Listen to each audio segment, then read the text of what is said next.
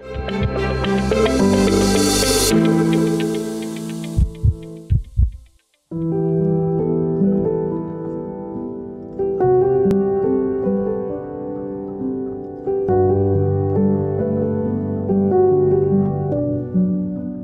Спінальна м'язова атрофія рідкісне генетичне захворювання, яке пошкоджує нервові клітини спинного мозку.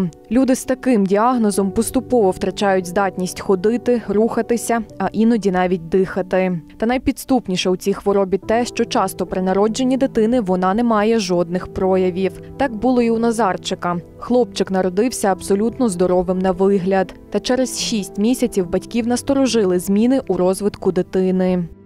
Він ніколи не опирався самостійно на ніжки, не перевертався з животика на спину і зі спини на живіт.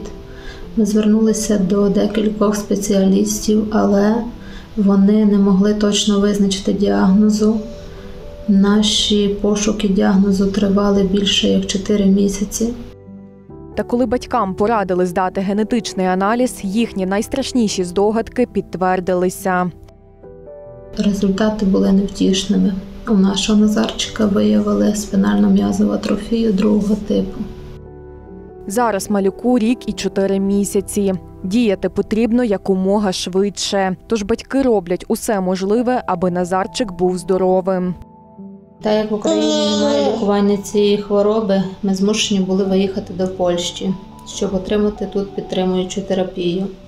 На даний час ми вже більше місяця перебуваємо в Польщі. Назарчик вже отримав два перших уколи підтримуючої терапії.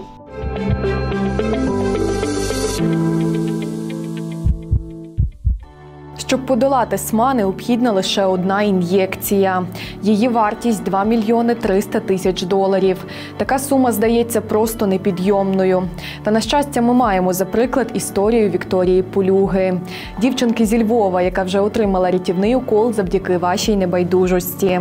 Тож давайте подаруємо таке диво і Назарчику.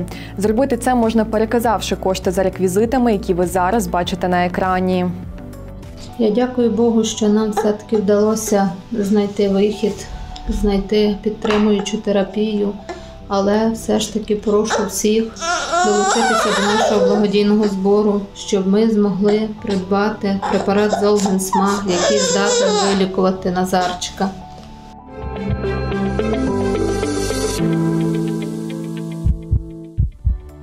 Захворюваність на СМА становить один випадок на 6-10 тисяч новонароджених.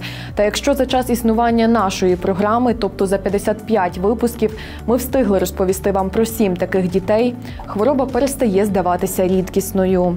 Тож не приходьте повз чужих бід, адже саме ваша допомога для когось може стати вирішальною. А якщо комусь з вас або ваших близьких потрібна підтримка, пишіть про це на сторінку Правда тут Львів у Фейсбук з хештегом Роби добро.